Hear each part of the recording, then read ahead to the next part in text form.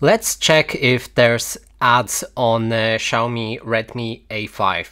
So uh, first of all, uh, as you may know, the Xiaomi MIUI devices are pretty notorious when it comes to the uh, tools like the files browser and etc. They will pop up some uh, ads and uh, it's uh, pretty annoying. So on this device, uh, we'll be able to find the Files app right here, and it's uh, the standard Google app. And as you can see, there's no ads right here. Of course, if you go for the apps like the um, where was it?